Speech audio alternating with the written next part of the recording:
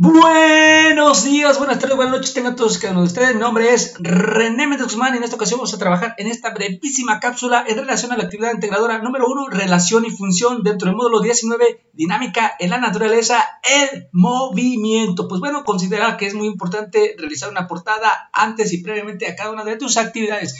Bueno, esta actividad en particular tiene una característica muy, pero muy importante la vamos a desarrollar en cinco puntos bien sencillitos. Lo primero, vas a elegir a partir de una serie de ejercicios, pues cuál es el que mejor te acomoda para tu solución. En este caso vamos a elegir uno de, es muy similar, que dice, en un cibercafé se cobra 9 pesos la primera hora y las siguientes a 8 pesos. ¿Cuánto se, se, pagaría para 2, 3, 4 y 5 horas? Bueno, el punto número uno es encontrar el dominio y codominio de la función. Vamos a elaborar una tabla y vamos a darnos cuenta precisamente de cuántos, cuántos, eh, en este caso, por ejemplo, datos tenemos para generar nuestro dominio. En este caso nos vamos a dar cuenta que vamos a generar desde la primera hora y posteriormente a ello vamos a eh, anotar la segunda, tercera, cuarta y quinta. Para eso vamos a anotarlo en nuestra tablita, donde tenemos que nuestra variable, obviamente independiente, o sea, que es esta que tenemos aquí, ustedes deben de colocarla, recuérdenlo,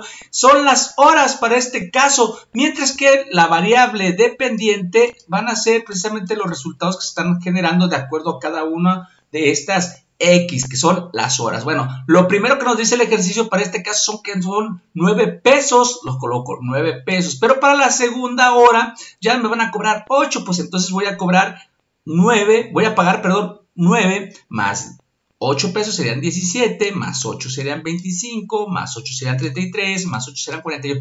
Así sucesivamente lo vamos a ir manejando. Esto digamos que lo estamos haciendo analíticamente, estamos haciéndolo, eh, digamos, analizando la situación para generar precisamente nuestra tabulación. Al final la tenemos que realizar matemáticamente. Pero bueno, esto nos va a servir para qué? En el punto número 2 vamos a encontrar la pendiente con la relación eh, con los valores de x1 y1, que van a ser precisamente estos datos que tengo aquí, X1 y X2, mientras que vamos a tener Y1 y Y2. Tú puedes tomar cualquiera de los datos de acuerdo a tu tabla que generes, siempre y cuando sean consecutivos, o sea que puede ser el 3 y 4, o precisamente pudiera ser también, en este caso, 5 eh, y 4, los que tú desees, Recuerda que deben ser consecutivos. En este caso yo voy a elegir precisamente solamente el valor para, en este caso, x1 y x2. Eso es lo que vamos a hacer en tu punto número 2. Una vez de que ya lo has encontrado de este dato,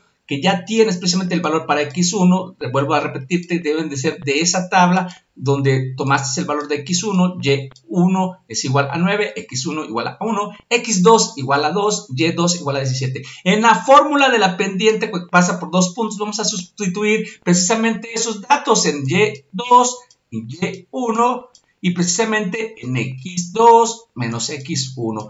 Al sustituirlo precisamente en estos datos, vamos a ver que y2 vale 17, lo estamos sustituyendo aquí, 17 menos 9, pues resulta que son 8, 2 menos 1, pues 1. 8 entre 1, pues veo que la pendiente para este caso es de 8. Vámonos al siguiente punto.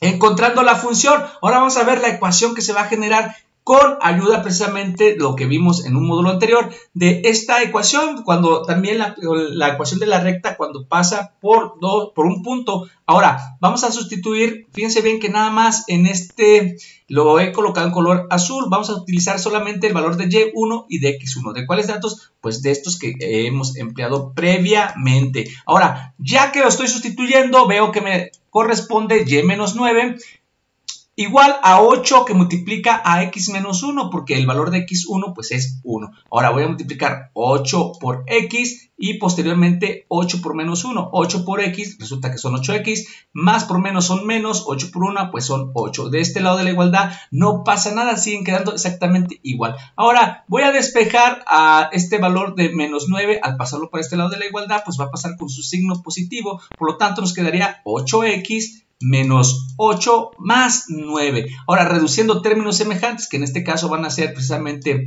el, para este dato 8 eh, y 9, pues sería que menos 8 más 9 se nos hace un más 1. Por lo tanto, y es igual a 8x más 1. Sustituyendo, obviamente, para esta ecuación, convertirla en función, nos queda en f de x es igual a 8x más 1. Ya encontramos eh, la función que me genera la situación de esta eh, de este ejercicio. Ahora, al punto 4 vamos a comprobar la función para evidenciar el proceso. ¿Qué quiere decir esto? Pues de que a esta ecuación que acabo de encontrar, pues voy a sustituir donde aparece la x por mi primer dato de la tablita que tengo aquí, que en este caso sería cuando 1, cuando x2, cuando x3 y así sucesivamente. Me tiene que, eh, ahora sí que resultar estos datos, todos estos que tengo aquí, pero comprobarlo matemáticamente. ¿Cómo lo hago? Pues bueno, eh, decía que f de x, cuando f de 1 es 8 por 1 más 1, que sería 8 por 1, pues son 8 más 1 igual a 9.